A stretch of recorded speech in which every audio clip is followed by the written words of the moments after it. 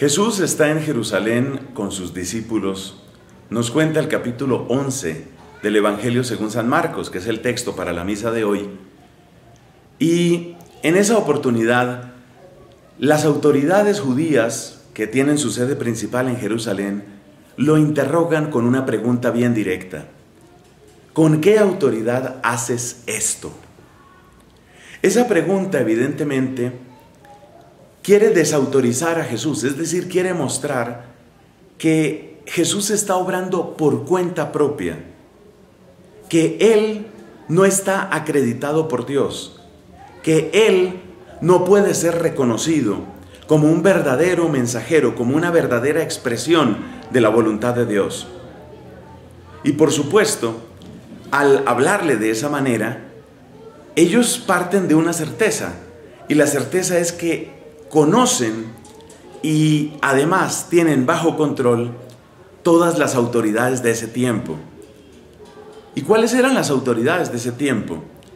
Pues mira, por una parte tienes al procurador romano, ese es Poncio Pilatos, y ellos tenían buen trato con Poncio Pilatos, es decir, tenían lo que podríamos llamar buenas relaciones públicas y sabían manejar ese asunto de la política. Otra autoridad eran los fariseos, los fariseos que se consideraban autoridad porque eran los que supuestamente practicaban la ley y enseñaban a la gente a practicar la ley. Pero esos también estaban bajo control, esos también tenían una relación políticamente fluida con la casta sacerdotal. Por supuesto, esta casta era otra autoridad, la autoridad religiosa, y ellos también tenían muy claro de dónde venía su autoridad. Ellos eran descendientes de Leví, ellos eran por consiguiente sacerdotes, entonces tenían claro su propio poder.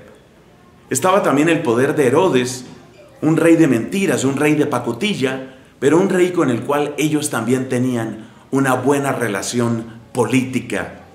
Es decir, la política, el acuerdo humano, las relaciones públicas, eso de que yo, me, yo te invito y luego tú me invitas, yo como en tu casa, tú comes en mi casa, nos encontramos en los lugares exclusivos, vamos a las grandes mansiones, no nos perdemos ninguno de los grandes banquetes.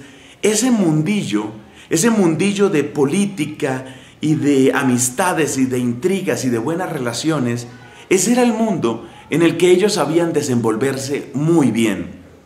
Y lo que les extraña precisamente es que Jesús no pertenece a ese mundo. Jesús no aparece en los banquetes de gente muy importante. Por ejemplo, cuando se celebró el cumpleaños de Herodes, donde, por cierto, de manera macabra se decapitó a Juan el Bautista y se trajo la cabeza de él en una bandeja. Pues en ese banquete no estaban los discípulos de Jesús, ni estaba tampoco Jesús.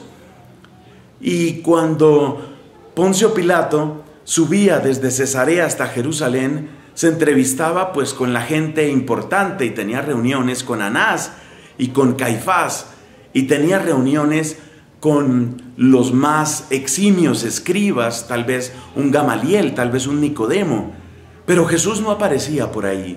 Entonces la pregunta de ellos es, ¿cómo es que este hombre, que es un don nadie, que es un aparecido, en nombre de quién, en nombre de quién viene?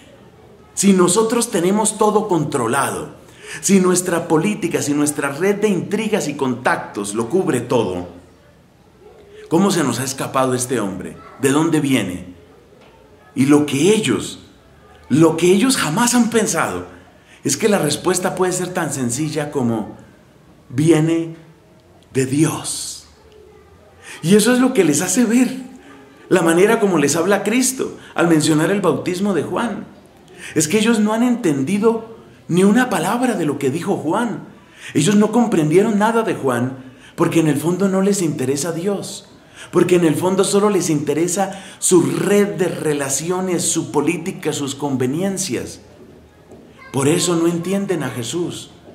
Y por eso tenemos nosotros que pedirle al Señor que nuestro corazón esté abierto para recibir su mensaje, para recibirlo a Él, porque viene de Dios. Amén.